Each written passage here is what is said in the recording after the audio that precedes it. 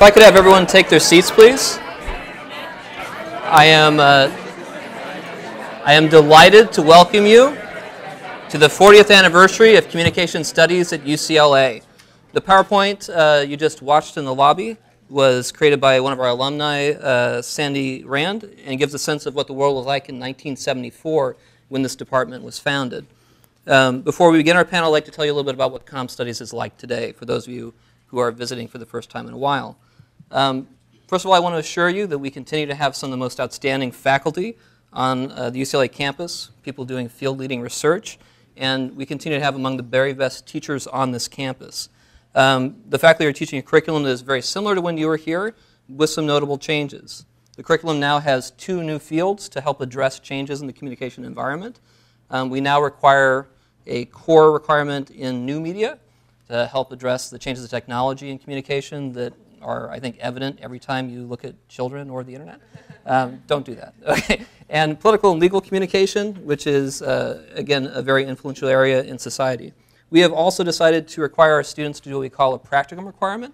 The practicum requirement has the students in the major um, be able to apply what they've learned in their theoretical classes in a uh, communication context where they are attempting to, say, persuade or affect people's thinking. An example of this is in my course on political communication. Students in the class are required to do uh, commercials for fictitious presidential campaigns between, uh, in the most recent case, between Senator Rand Paul of Kentucky and uh, Patty Murray of Washington. This is an example of one of the 30 second commercials my students did. Again, they did all the research. They're required to use certain footage I provided, and this is a resulting ad. I should warn you, by the way, if you have delicate sensibilities, some people are killed in this ad, literally. I'm actually not kidding. So, there you go. Hopefully that'll play. The problem is, is as this war has drug on, they take that authorization of use of force to mean pretty much anything. I will not vote to send my son, your son, or anyone's daughter to war unless a compelling American interest is present.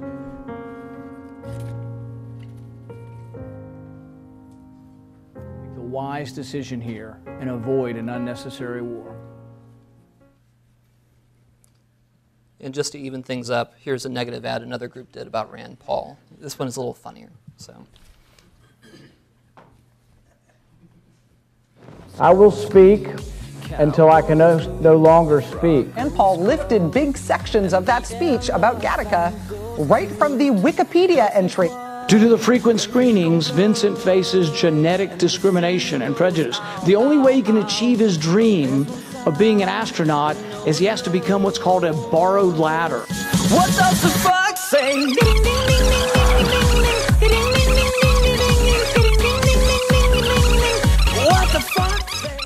So I'm very proud of that ad.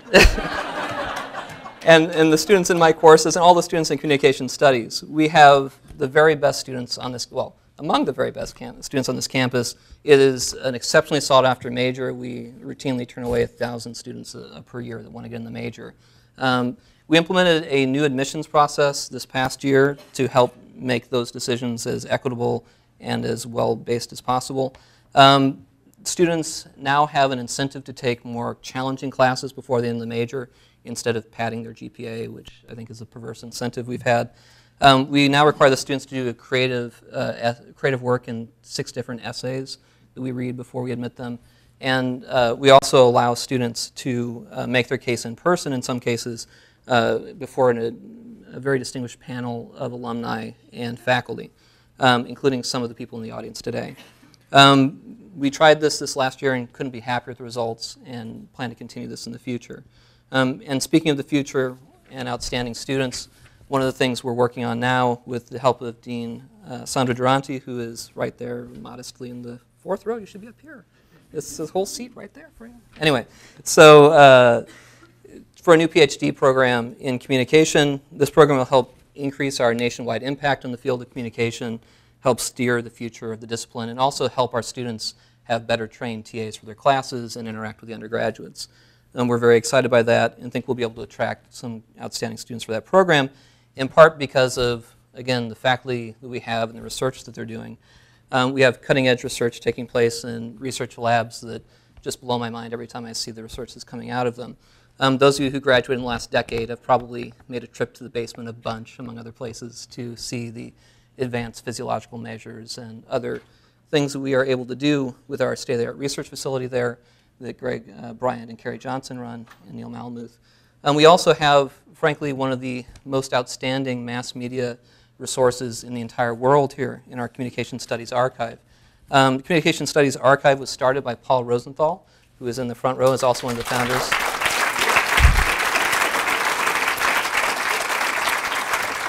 founders of communication studies here at UCLA, but also of the multiple multiple choice exam that I can look on some people's faces and see you know, the excitement in some of you when I mention that term. Um, since 2006, uh, Francis Steen, who is sitting, where are you, Francis? Back there, has converted the collection of this uh, system to digital, and we now have about a quarter million different television programs in the collection and more than a billion words of television news uh, indexed and searchable by our students. It's an amazing resource. We're currently mounting an effort to preserve the videotaped analog material that Paul recorded, again, since the Watergate hearings until 2006. It's a, another basically 200 plus thousand uh, programs that we would like to have digitally available and indexable by the students. Um, we have, uh, in the short term, also been uh, digitizing a subset of the collection, which is uh, speakers on campus in the 1960s and 70s, recorded by Communication Studies in the prior speech department. Um, we've put these things up on YouTube, and they've been very popular. On the website, um, we have over 250 speeches and other videos up there now. And uh, in fact, uh, Derek Boland, who's taking photos in the lobby, has been uh, putting the material up, and we've had, I think, last time I looked, 200,000 minutes of viewing. So I, I, don't want to convert that to hours; it's less impressive. But uh, it still is, I think, something we can uh, be pleased with.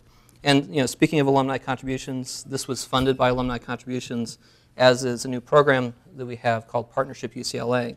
Um, we've created Partnership UCLA to help us engage with our alumni and uh, with members of the community and help our students in their professional development. Thanks to a, very generous gift from Richard Ross, who is a friend of our department. Um, in July 2013, we launched our involvement in Partnership UCLA in January, we had 25 uh, senior executives uh, from various communication industries interview and select the 2014 class of college fellows in communication. These students will benefit from alumni mentorships. Um, we'll also be able to have access to uh, summer internships in extremely competitive firms and competitive companies. And also, through this program, we've been able to directly support our educational mission by having hands-on training or other uh, guest lectures in our courses building on the expertise of our alumni, building on the, uh, the knowledge that those alumni have. Um, for example, in my political communication course last quarter, we had a series of experts and in, uh, alumni and uh, consul consultants for political campaigns come and speak to my students, which the students report to me they found very valuable. Um, moving forward, we hope to expand this program by uh, finding additional ways to engage alumni, um, having uh, more alumni be involved. If you're interested in becoming involved, you can find the link on our website, uh, which has recently been revised, under the alumni uh, tab of that page. Here's the website for those who haven't seen it recently. I'd also point out uh, in the upper right-hand corner, if you'd like to follow us on Facebook or LinkedIn, we have the links easily available there. Right above that is a bright gold button, gold button, uh, if you'd like to get involved financially. Uh, I raised that gold button in part because this is the year of the UCLA Centennial Campaign. Um, you might be aware that UCLA started off as a branch campus of another university that became nameless, uh, but has distinguished itself greatly over the years. Um, we have been delighted with UCLA's uh, impact on the world, and we think that this campaign is an opportunity to support the university and an opportunity for our alumni especially to become more involved with our campus. Um, this is a period where technological and social changes happen so quickly that the world changes in the blink of an eye. And we are uh, feeling that UCLA is a worthy partner if you want to create a lasting legacy in this ever-changing world. Um, 100 years of achieving the seemingly impossible and forging new ways forward are yours in, in building a better tomorrow for you, our students, and the world. And speaking of a lasting legacy, I wanted to again reference our gratitude towards Richard Ross. Um, he has just made a transformative gift uh, to the department in the memory of his son, Tony Ross, um, designated the Tony Ross Endowed Undergraduate Journalism Internship Award. This endowment will encourage undergraduate students studying in the area of journalism and new media to participate in internship experiences by providing them for financial support um, for unpaid internships, which are still very common in those fields. Um, deserving communication studies students will be selected to receive the award in conjunction with their participation an unpaid internship, including print, broadcast, and new media journalism. Richard is unable to be here tonight, but I've been told he'll be watching the, uh, the videocast live. So if you could please join me in a round of applause to thank Richard for his generosity.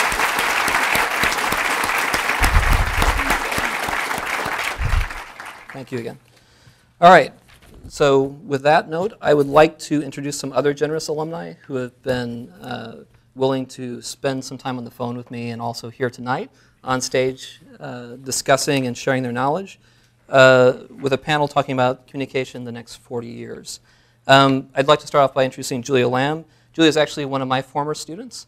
Um, Julia is the co-founder and CEO of Enchanted Labs, which is an early travel stage startup. She also doubles as a co-founder of the A3 Foundation, which is a nonprofit supporting Asian American artists in the media, and serves as an advisor for innovation and entrepreneurship at UCLA.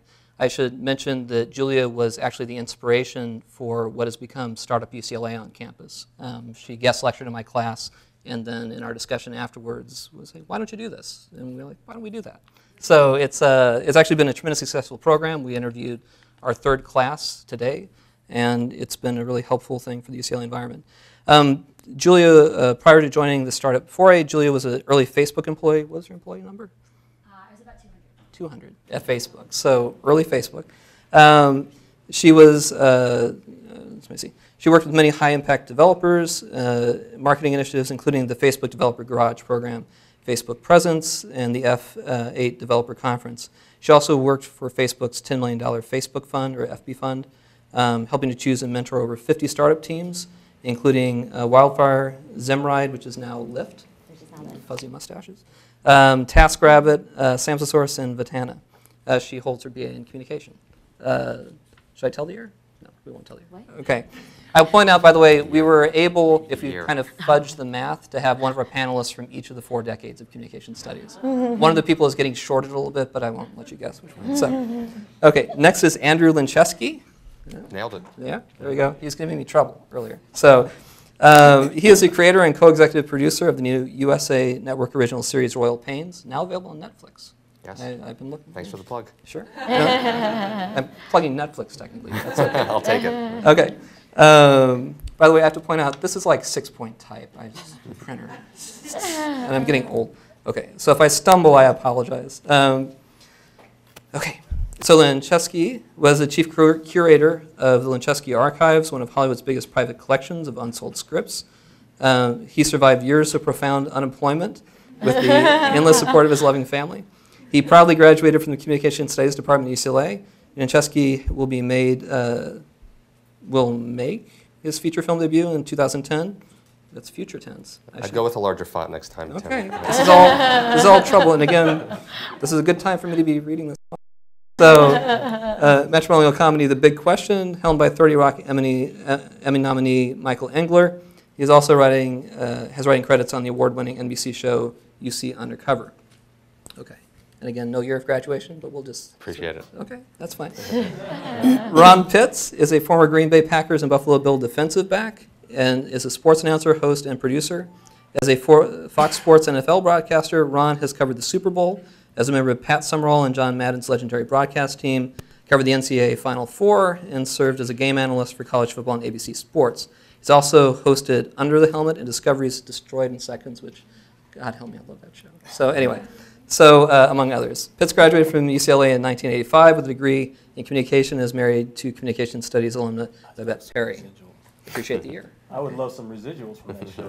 But, uh, they were destroyed in seconds. It's unfortunate. Okay. Judy Johnson is the C- is CMO of Caruso Affiliated. Caruso Affiliated is one of the largest privately held real estate companies in the U.S. You might be familiar with the Grove and some of their other properties. They're moving to Pacific Palisades, right? Yeah, the whole thing. Americana.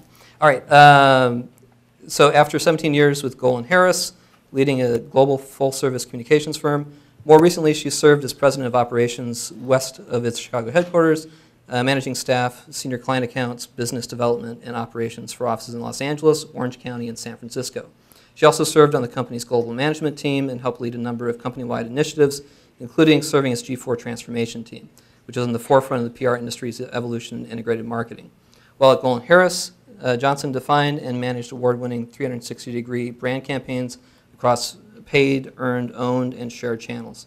Some of our most prominent clients include Amazon, sorry, included Amazon, Cold Stone Creamery, Cunard Line, Disney, Disneyland and Downtown Disney, Farmer John, Forest City Development, Las Vegas Sands Corporation, McDonald's, uh, Ritz-Carlton, and Toyota, among others. Um, without further ado, I'd like to invite our panelists to the stage, and we'll begin the panel.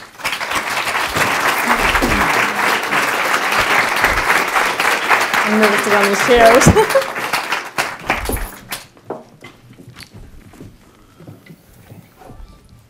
So I've been told that anytime there's a lull, I'm supposed to say, "What do you think, Judy?"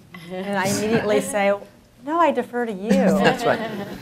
Okay. Well, I wanted to start off by having the panelists tell us a little bit about your field, a little bit about how related to what you studied at UCLA. Would you like to start, Judy? Sure. Well, obviously, I was a communications major. That's why we're all here. Um, but back then, because I was, I guess I'm the oldest one here. we're not going to stress that. Yeah, well, you know. So, uh, but definitely not the era of the 70s. So, um, but there were really two tracks. One was interpersonal communication at that time, and the other was mass. And I opted to go for mass because I knew I wanted to either go into advertising, marketing, or public relations, um, which I ended up doing a little bit of all of those. Um, so the question was really like, what kind of helped me get where I'm going? I think that what I would say about UCLA um, as a place for education is that it teaches you to be an analytical thinker, teaches you to be a great writer, and just I think an, an overall general good communicator. And I think that as a, a mother now of two young children, I tell them all the time, in school I didn't necessarily learn that it's about really good interpersonal skills and, um, I mean, young school, uh, elementary school, and being able to have a conversation with people and to persuade people, whether that's with a debate with your spouse or whether it's uh, trying to get something in the workplace or sell a product or service. And so I do think that a lot of that I learned here. Um, the major was and still is very theoretical, and so much of the practical application of what I do I had to learn on the job. But I do think the tenets of learning to be a problem solver, uh, deadline oriented, and um, an analytical thinker really began here. Okay, Ron.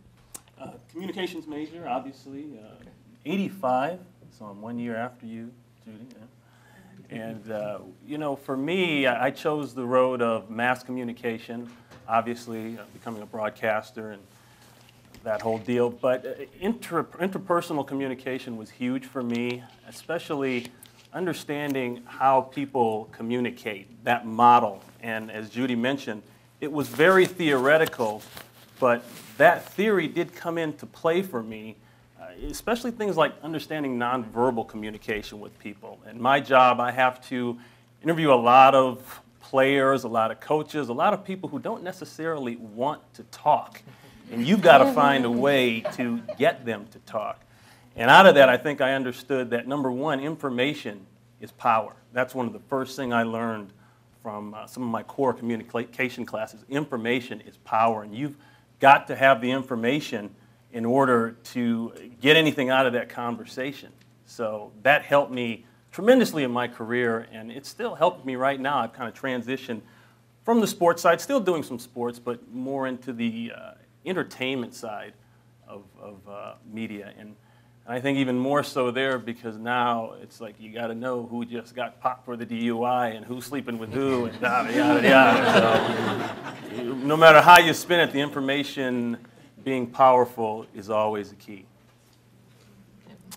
Um, I'm a TV writer producer, which is um, being uh, an artist and uh, a CEO at the same time. So there are a number of different ways in which you can burn yourself out and lose your mind very slowly. Um, and I went into comm studies for one very simple reason, which is I got rejected by the film school. Um, which at the time I didn't feel so good about, but in retrospect, is the best thing that ever could have happened to me. And you know, they tell um, beginning artists, writers, directors, actors in my field that um, when they're just trying to break in, you don't hire an agency, you hire an agent. And people looking for legal counsel are told you, you don't hire a law firm, you hire a lawyer. And similarly, you know, what I took away from UCLA was not as much from the department as it was from the professors. So uh, Professor Rosenthal, I took uh, legal communication with, and it taught me about the law from a communications perspective. And Professor Malamuth, I took um, pornography communication. Um, that, class didn't quite live up to its billing, but uh, it was, it was uh, illuminating nonetheless. And um, no, no one more so than, than Marty Gregory. Um, to me, she, she always has been the program, and uh, I can't imagine it without her. Um, the two classes that, that I remember most were um, Speech One, uh, Introduction to, Communi to, Communication, which on, on the surface was about um, making uh, a case based on a particular hypothesis, but really it was about storytelling and connecting with an audience, which served me immeasurably as a writer. And uh, the other one was uh, Com 185, the um, internship class, which uh, really gave me a huge head start in the marketplace. Um, Marty came in on the first day and said, uh, today I'm going to teach you guys how to answer a telephone. And uh, everybody rolled their eyes. Um, and unfortunately, a lot of us learned the hard way our first week in a new job how important it is to be able to answer a telephone correctly. Um, so, uh, so to this day, you know, the things I learned in those classes really helped shape uh, the career. The answer, ahoy hoy? Hoy hoy? oh, how to answer the telephone? I'm sorry. Marty, how, how do you answer a telephone? So much for leading by example. I'll, I'll, I'll, tell a quick story about that. So one of my fellow classmates, he went to work after we gradu graduated for uh, a really big producer and uh, he had no idea how to answer a telephone. So um, his first week on the job, uh, he answered the phone and he said, um, such and such's office, and the guy said, uh, hi, um, can, uh, can you tell her it's Bob calling? And he said, oh, I'm sorry, she's not in, but I'll have her call you back. So the boss came back in, and he said, Bob called, and she said, Bob who? He said, I don't know, I figured you would know what Bob it was. So she had a very tall stack of scripts on her desk, and she picked up the thickest one and started smacking him over the head with it. So he goes back out to the desk, and about 20 minutes later, the phone rings again, and he answers and says, such and such's office. And the guy says, um, hi, can you tell her it's Dustin calling? And my friend started to cringe. He's like, I can't believe I'm going to have to do this, but I'm sorry, Dustin who? and she heard from her office him saying Dustin who, so she came out with an even thicker script and started So, valuable lesson. Dustin. Okay. So, and Julia? Um, so I'm Julia, and I'm uh, in technology. So uh, I guess I like to think of technology as using software and hardware to um, create more efficiency and more value. It's kind of like a really broad term, but I mean, of course, we're all familiar with technology from your Googles and your Facebooks and your LinkedIn, and I think we all use our mobile devices on day in, day out. Um, so com studies to me, I was also mass communications, yay. Um, and I, I, worked for Facebook for four and a half years from when it was pretty small, about 200 people to about 2,500 people is when I ended up leaving. Um, and so, I mean, there are now over a billion users and they're worldwide. And so I think for, for me, um, com studies really helped me think through how different people um, receive different messages and how you can put different things like out there for them. Um, you know, again, like as we were getting more global users, I mean, it started as, you know, a Facebook, or, or sorry, Facebook was specifically for college campuses, right? So it started as a medium basically for college uh, students to communicate with each other. And as we grew, every time we'd grow, we'd have to kind of change the message. Um, and so, I mean, if you think of like really early Facebook times, it was pretty clown town is probably the best way to describe it. It was just a bunch of, um, you know, it was, it was a bunch of like 18 year olds that were yeah, going through their um, their networks and finally for the first time being able to connect with the people around them. I mean, being able to see who was in this room and being able to know like what kind of interests that they had.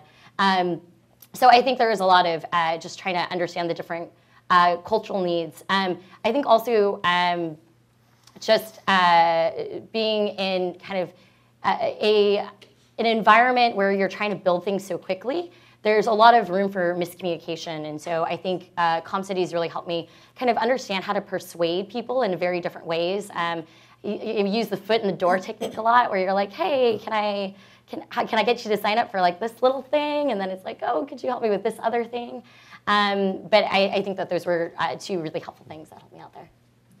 You've actually given a little bit of an idea of how Facebook changed while you were there. It was, it was the Facebook when you started there. It was the Facebook. Uh, I don't know if it was the Facebook when I started there. It was the Facebook when I signed up. I was a sophomore.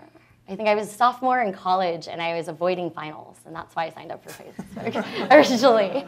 And uh, I joined uh, shortly after college, so it just kind of.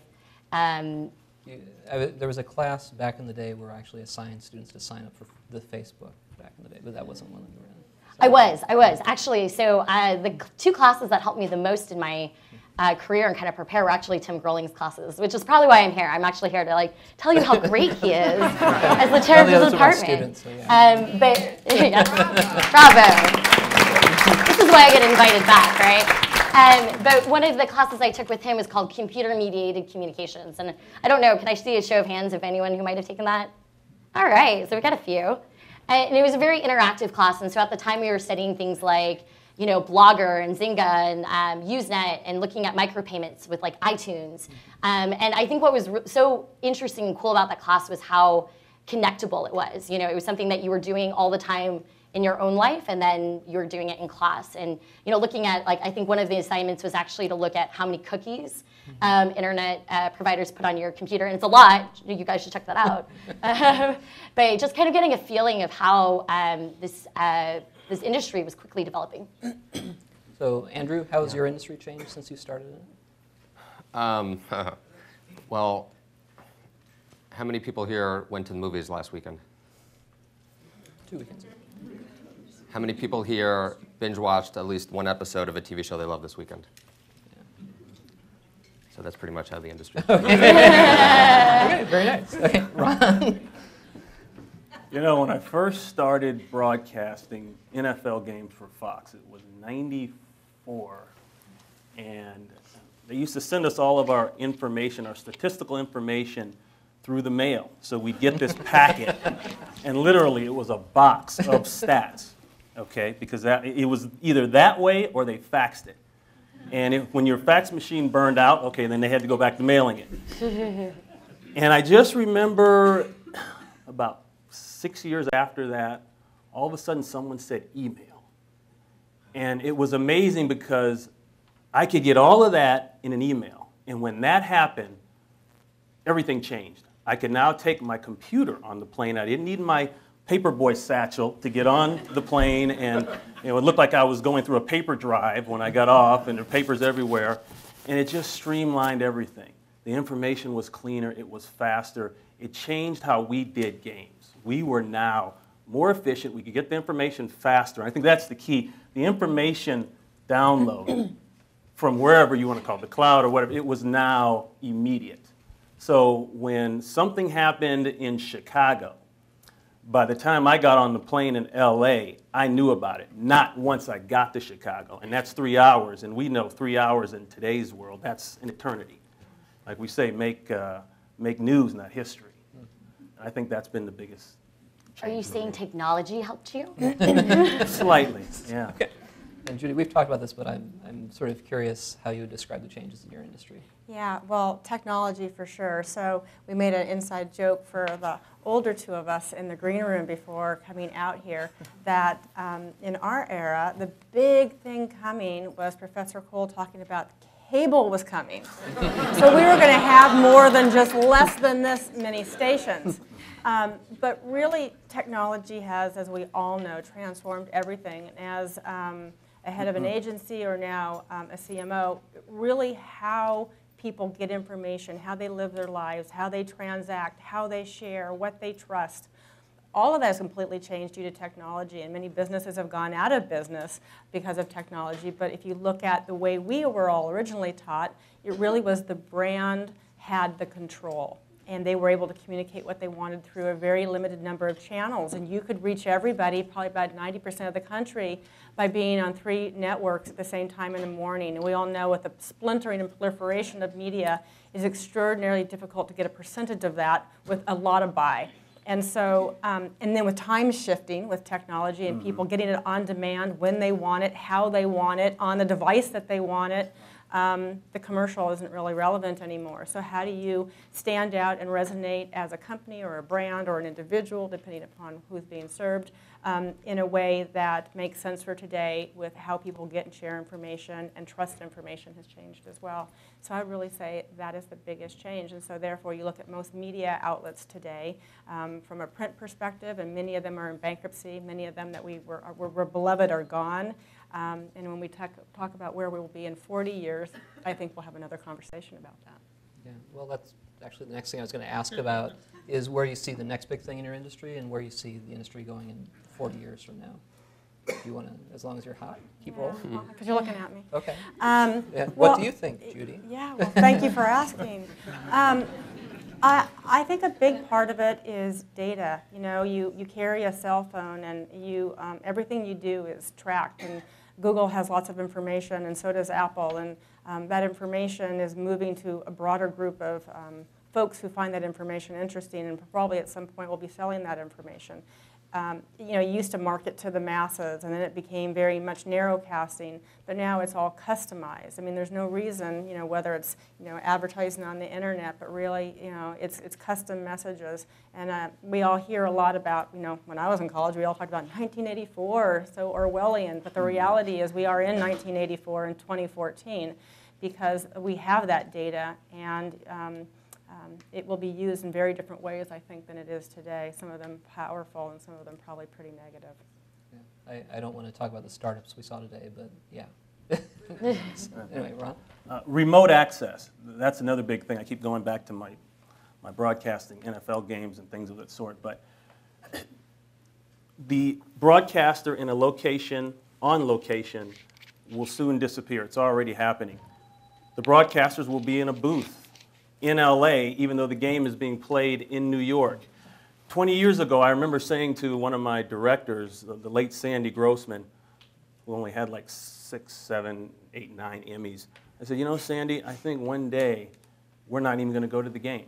He said, No, no, no, the technology, it's not there yet. Three years after that, he said, Remember that idea you had about the broadcasters not even going to the game site? He said, That's here.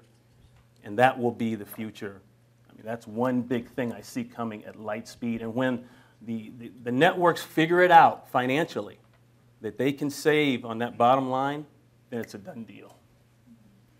It's like uh, the Daily Show with Jon Stewart's foreign correspondents. Pushing in that direction. Okay. So, so Andrew, other than binge watching and uh, you know, watching more things on Netflix, again, Royal Pains available on Netflix. I'm really liking you today, Tim. Okay. it's okay. It's okay. I, will play the contrarian mainly because I like to be a pain in the ass. Um, I, I, think nothing is changing. And if you're interested in, is, is, this PG? You didn't give us that heads up. Okay. Um, he, gave, he, gave, us permission to use a dirty word now and then. That's what yeah. he's asking. I was dipping my toe in the water. I, thought ass was a nice way to kind of yeah. get my feet wet. Um, I think nothing's changing if you're interested in doing what I do for a living. It's still about great storytelling, it's about characters, it's about engaging people emotionally, and it's about holding their interest. I mean, people aren't talking about Netflix because it's a cool name or it's an interesting te technology or because they had those you know, nice little red envelopes. They're talking about it because they're putting out fantastic programming. Um, House of Cards is a great show, and that's why people are talking about Netflix. Amazon is the biggest retailer on the planet. They don't have the buzz as an original programmer that Netflix has right now because they haven't found their breakout show yet. They will. It's just a matter of time. But um, I think you know that kind of speaks to where things are headed, which is um, content finally becoming king, and you know people of the the 18 to 34 generation don't turn on the TV and flip through two, three, four, five till they find their show, and they don't tune into NBC to see what's on NBC. They say, okay, what I want to watch is Blacklist, right. and that's their distributor and that's their brand. And they go into iTunes or they go into Netflix and they say, let me watch The Blacklist. So I'm, I'm sort of just to follow up. Yeah. I'm curious. I mean, we mentioned the binge watching and such. Does it worry you that in the entertainment industry that you are competing not just against the best programming of today or your current competitors, but all of this back catalog of outstanding shows that, that people are getting exposed to or can watch in one setting? I mean, does that make you nervous? Don't I look nervous? That's why I want you to keep plugging the show. Okay. there are a lot of options out there, um, and uh, and you know trying to break through the clutter is more challenging than it's ever been before. But um, the upside is if you do find something that breaks through, the, the rewards are really uh, promising. Um, it, you know, it's, it's changed the, the nature of storytelling slightly in the sense that um, you know, the difference uh, between procedurals and serialized shows, or that procedurals are the medical shows, the legal shows, um, the cop shows, where there's, you know, a story that's closed-ended that begins and ends within each episode every week. And that's been the bread and butter of, of TV since, you know, the, the, the dawn of its existence. And um, that's becoming a, a, very, very troubled model because um, those shows become inherently repetitive and thus boring when you're watching them eight at a time. So that's why most of the shows you're seeing right now are these serialized shows with these long arc, open-ended mythologies, you know, like Homeland and Masters of Sex. And, um, and so that, that that's a way in which I think the storytelling actually has been shaped by the technology, is you have to figure out a way to make sure that at the end, at the end of your episode, you're giving people not just a satisfying conclusion to the story they've just, just watched for 43 minutes, but a very compelling reason to come back next week. So they've gotten rid of the reset button. Right, and I was just going to add to that, and something you, you mentioned, Judy. It, uh, nothing ever really goes away now. You can find it anywhere. And so if you've got something out there that you're really not proud of, you may see it again. Mm-hmm. you know, For the next 40 years. Right, right exactly. And, and, and I recall back to something that uh, uh, Professor Cole, Jeffrey Cole said in, in, I believe it was Communications 101, an introductory communications class. He mentioned if you have any amount of money that you're thinking about investing, if you get to that point, think about cable television, satellite television. He said there is going to be 1,000 channels. And I just kind of said, okay, how much time's left in class? and I'll be darned, it's, we've got 1,000 channels, kind of, Andrew, like you're saying, whether it's uh, Netflix, uh, on demand, whatever the deal is, we've got that kind of pervasive communication out there when it comes to television, movies, whatever your form of entertainment. Right, but I mean, also with just mobile devices, I mean, everyone has several mobile devices on them. I mean, the other day I had a laptop and a, uh, an iPad and then um, like a, my iPhone on top of it. And that was just like me going to work as an every day. Um, and I, I, saw this uh, report today by Mary Meeker, who does a lot of reports on like mobile devices. And she said that um, the, the mobile addicts, uh, I think, access an application 150 times now per day. So that's like six that's right. or seven times an hour if you never slept that's a lot, right? And, and I, I, mean, that number has grown tremendously in the, the last year. I think it's more than doubled. So, I mean, more and more people are being more connected with each other. I mean, things don't go away. My boyfriend has a device that takes pictures every 30 seconds. So, as you can imagine, there are a lot of unflattering photos of me in this world now. and this is just the way that things are going. I mean, you've got Google Glass. Um, I, I, don't know if anyone's had a chance to check that out, but you know, you can take photos and videos everywhere. Um, so it's, it's a very interesting world that we live in now where you're not necessarily focused on um, like kind of curating your life in a certain way that you used to be able to. I think Judy was talking about this earlier, where you have to just be comfortable with yourself and that being out there everywhere and people being able to access memories from 10 years ago. Um, and you know, I mean, the children that are growing up today, they're going to be able to see their whole life documented pretty interesting. Yeah, no, we've had the discussions in 151 and other classes about once something is on the internet, it's on the internet. It's on the internet. It's on the internet. Forever. there, there is no reset. But I think you know, one of the things about technology, and certainly with mobile, is that um, how you come into uh, experience a brand. So, you know, as a brand marketer, you look at what is the brand experience, what is the brand essence, how it's articulated, how it looks, how you speak about it and then brand protection. And on the, on the brand you know, uh, feel, if you are a company, take any company, Nestle, okay, that experience would be the products, that would be how it advertises, that would be, you know, um, if you called somebody at a call center, it would be all possible touch points. And, you know, if you walk into a mall today, for example, and you get the mobile app and you, they, and it's not, you know, they don't have one, you can't figure out where the directory is, and you go to a website and it's not mobile optimized, you get angry, and maybe some of the older folks in the room don't, but young people today, because you may not know what I'm talking about. Really angry. But they get really angry. angry right and so a brand has to be every digital touch point as good as the brick and mortar touch point, as well as the hard, you know, packaged touch point, because people get really frustrated if they can't get everything they want when they want it in the way that they want it at right. that particular moment. So, so it's crazy. Yeah.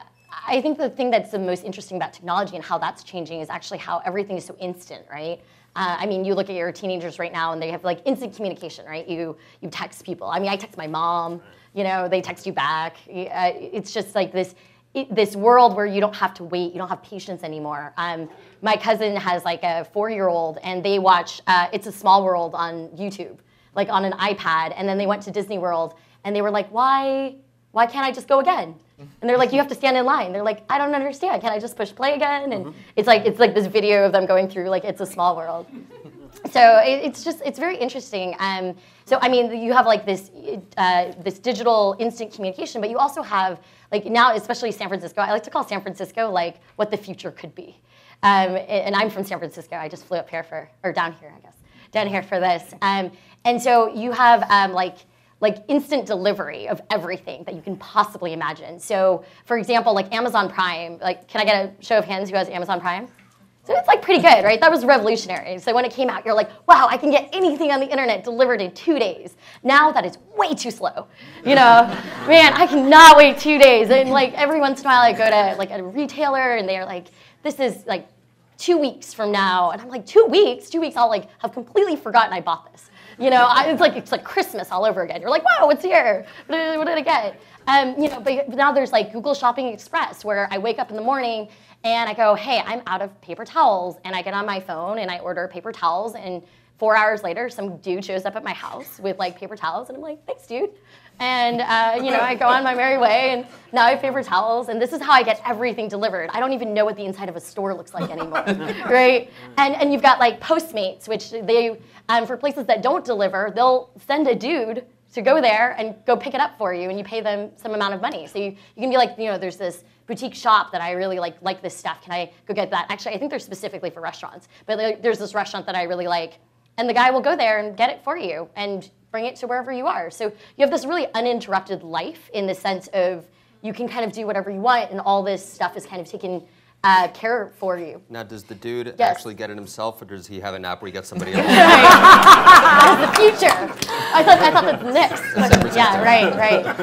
But what I want to see is probably a study already being done is what is the generation that is truly a digital native who lives seamlessly on and offline every moment of the day, doing way more than six apps. They're going from their computer, they're texting, they're watching TV, they're, they're, they're updating their profiles, whatever they're doing. Like, what 40 years from now, for doing that for 40 years, are they going to be like?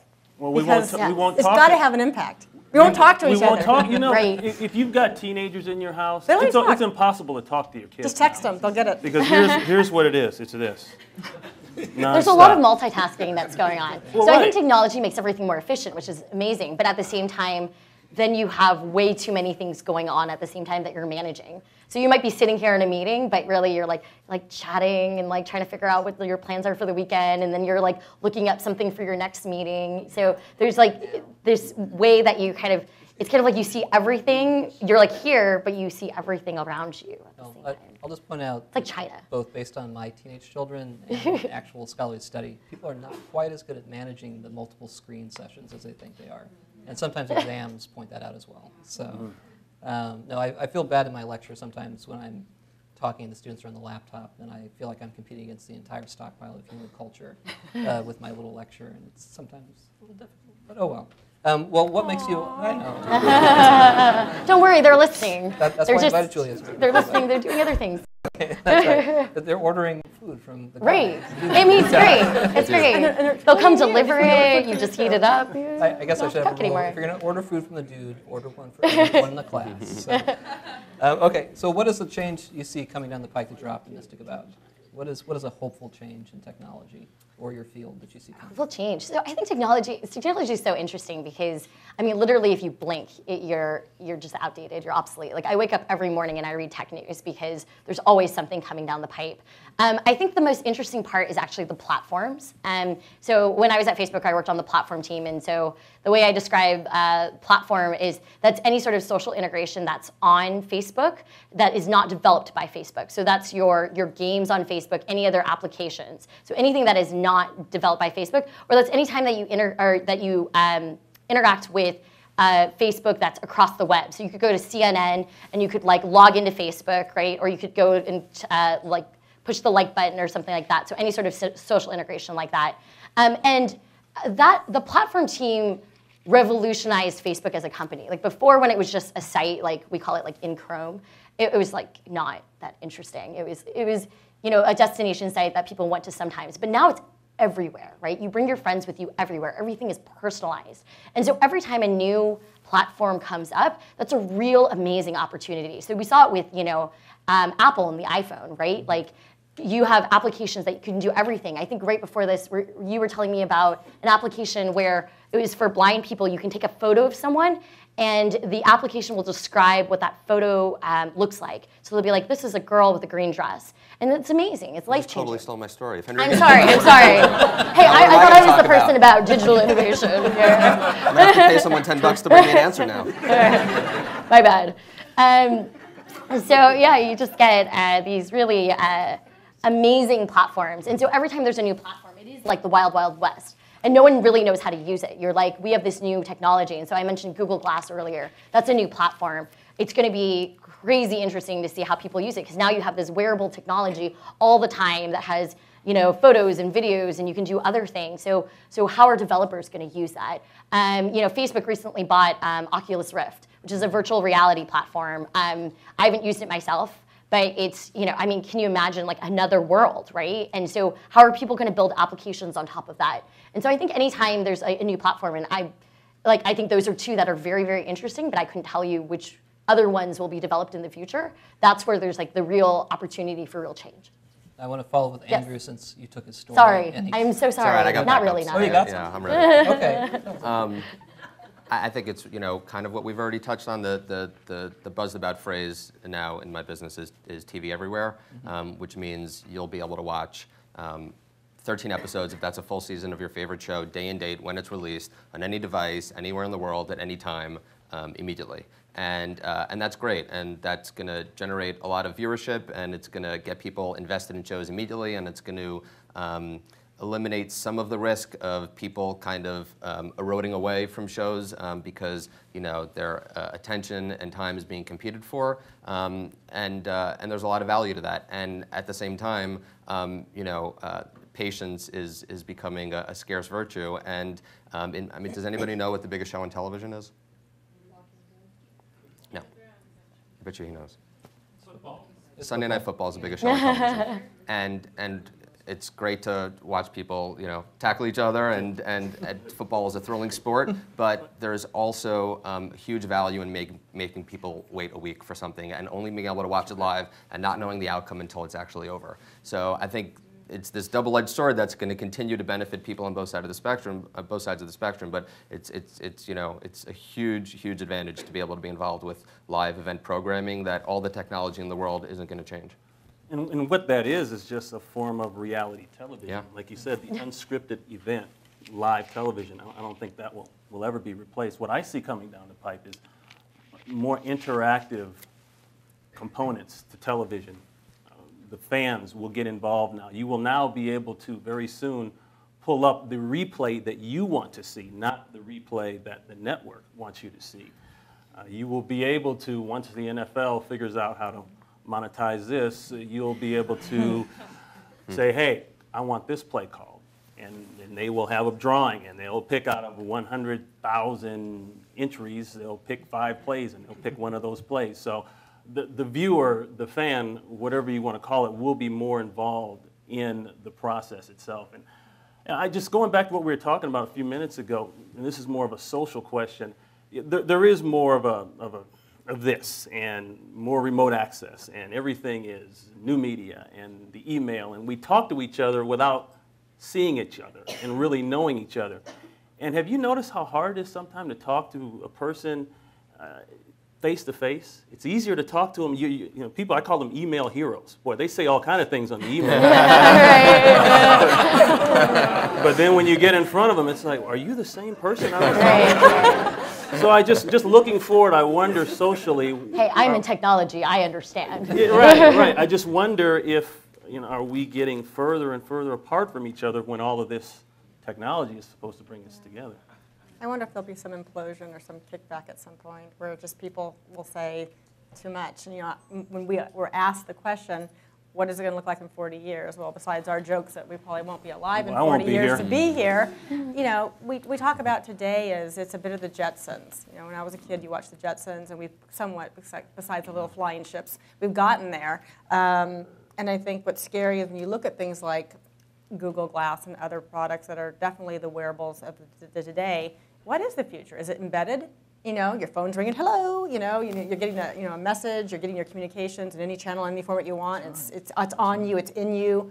Uh, you know, it's a scary, it's a scary thing, but we talk about that all the time. You know, because technology has become so pervasive. What's the next step? In you? supposed to be Well, I the think what's- optimistic section? Oh, right. well, what I think is really Some interesting is actually We're being really technically amazing. optimistic. what I think is really interesting is actually how identity has changed on the internet. So if you think about like the internet, like a very long time ago, it was this anonymous beast, right? You had like you're like I am Fire Girl one three five six seven, and then you just like lied about your na- your name and your age and location, right? And and then it kind of went through this cycle where you know Facebook was actually very prevalent in pushing this. We're like no.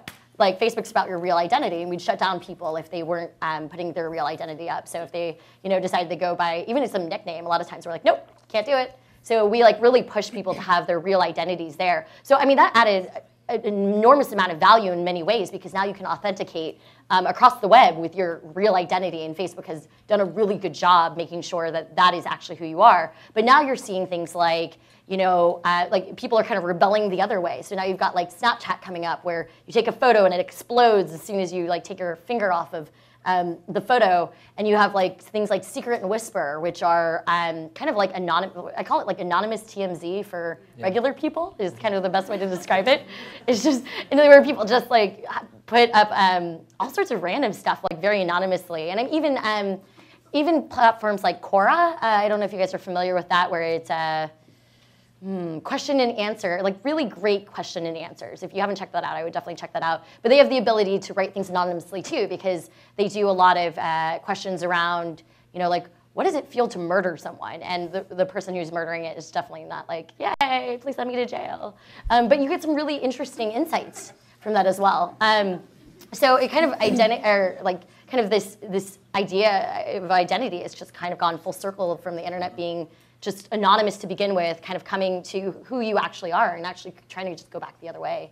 Well, I wanted to wrap up with the final question, which is based on what you've seen and also what we've been talking about tonight.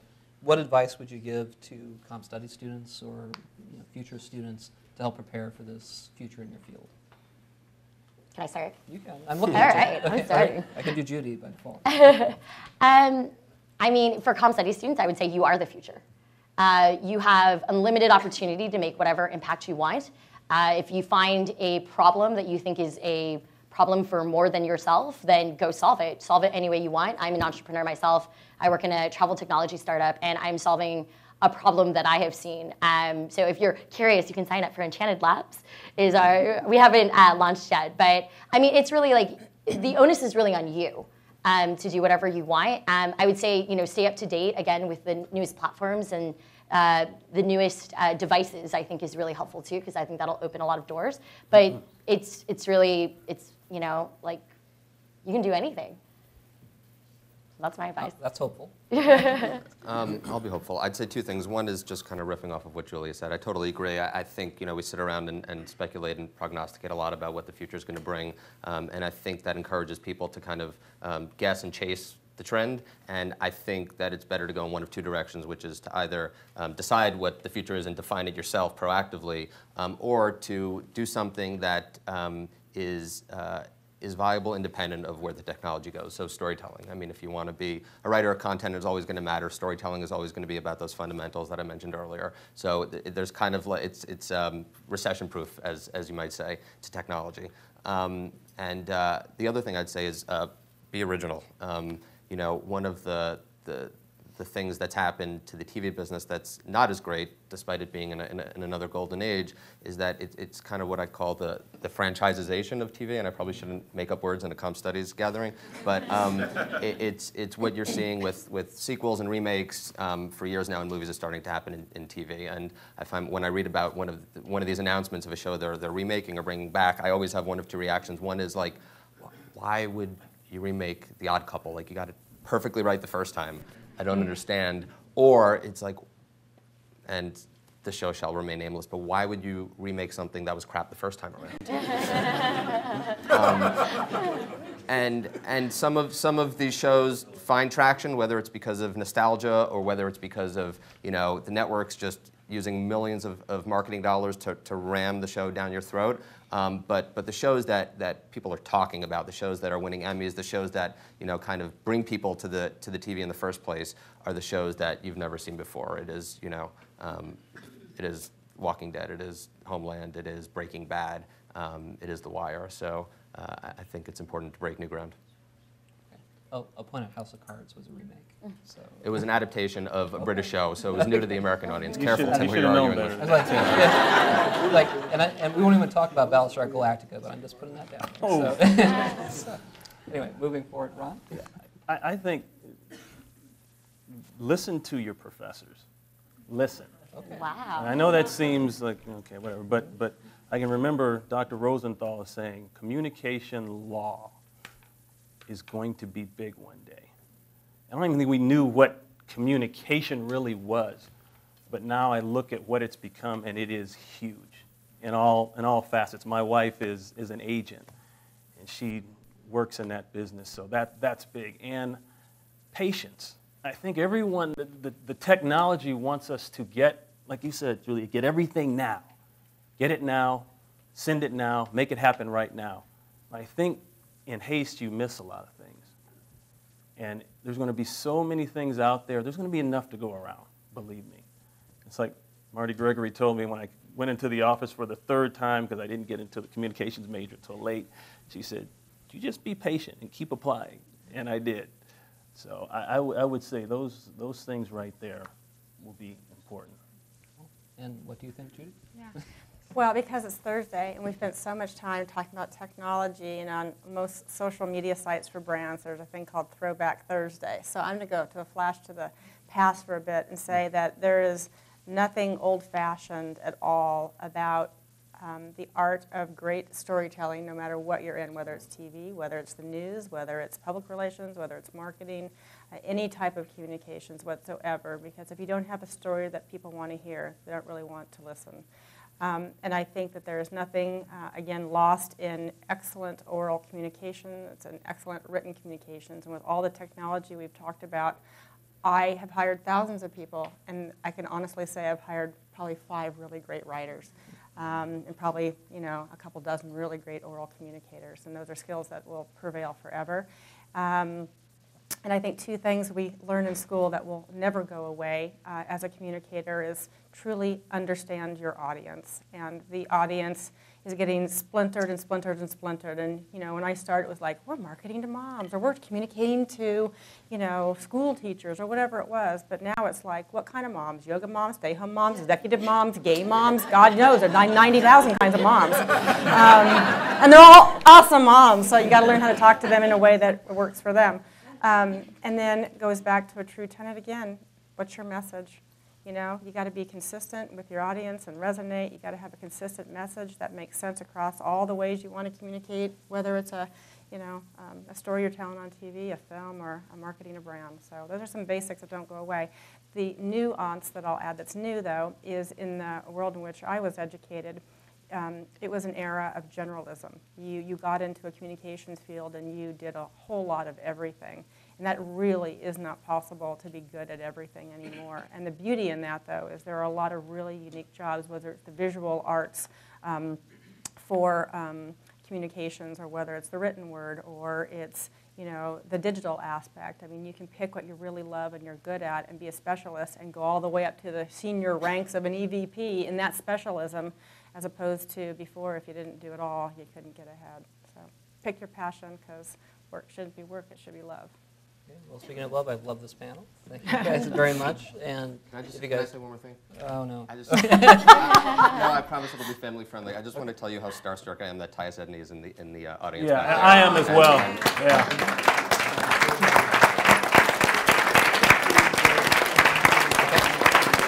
Well, on that note, if everyone would like to go out to the lobby again for a reception, uh, I'd love to see you all there. So, Thank you again.